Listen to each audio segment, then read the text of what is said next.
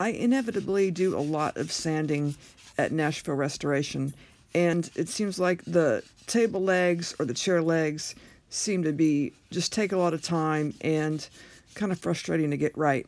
So I was thinking about how they shine shoes and how they wrap the rag around the front of the shoe and shine it like that. And with that, I came up with this idea on how to sand furniture.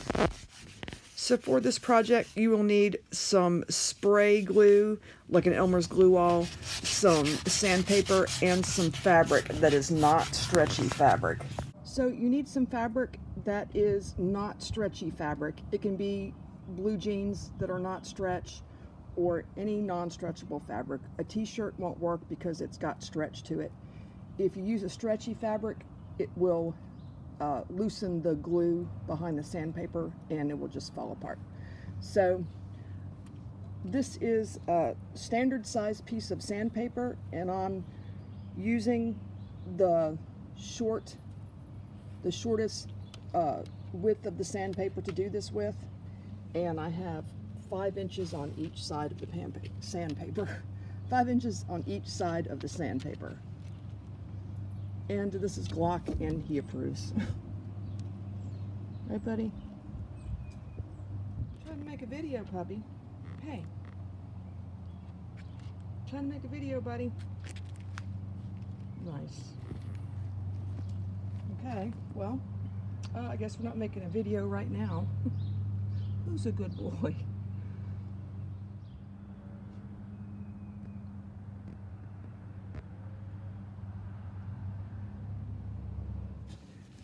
So I'm going to take this sandpaper. This is the long edge and this is the short edge. I want to use the short one. So I want it in three sections pretty much.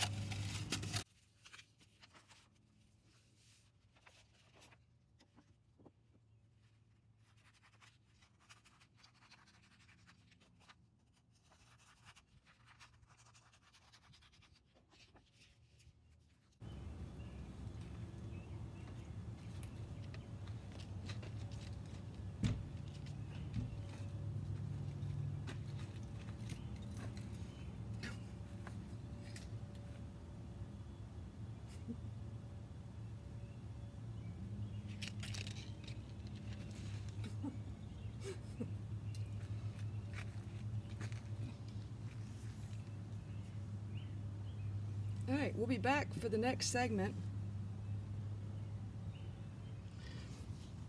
Okay, so uh, what you want to do is take your spray adhesive and you want to spray the back of your sandpaper cover it pretty well and immediately put it on your fabric. It's going to start to dry pretty quick. Now, you're going to roll it on find something round to roll it with. You can use a tube of caulking. Here's some packing tape. You can use that. You can use a glass. And you can also use a roller if you have one, a rolling pin. This is for um, ink art See how that makes it like nice and flat, nicely adhered to the surface. And repeat the same things with the other sandpaper. I try not to spray on the fabric just so I don't get glue where I don't want it. And once you've got a sheet of sandpaper on there, you don't want to spray glue on it.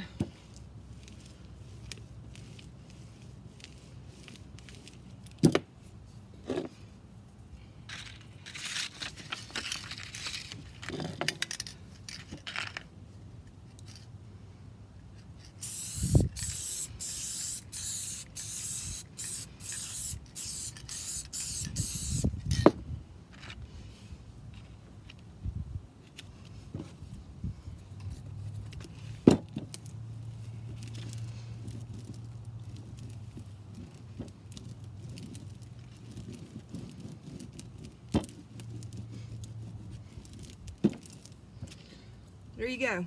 I'm gonna let this dry out here in the sun for about an hour just because I want to be sure it's completely dry. Um, if it was inside, I would probably give it three or four hours just because if it's not dry and you go to use it, you can uh, lose your whole sheet of sandpaper. So let this dry and come back. This is the best kind of sandpaper to use for this. This is, I believe, exclusively at Lowe's. The reason this is so good for this is because the backing to this, I would have used this, but uh, this was my last sheet. But this does not come apart like the other paper and sandpaper does. So it works really well as far as gluing it on the fabric. It lasts a lot longer than regular sandpaper. So best thing to use, not what I'm using right now. All sandpaper works, just, just happens to work better.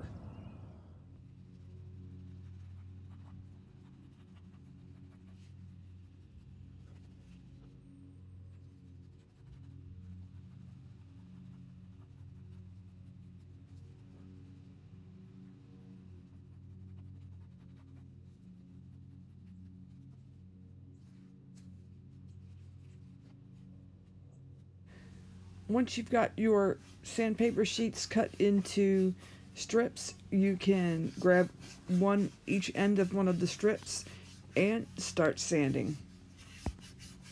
You're basically just going to hold on to the ends of the fabric and use the sandpaper just like a shoe polisher would going over a shoe.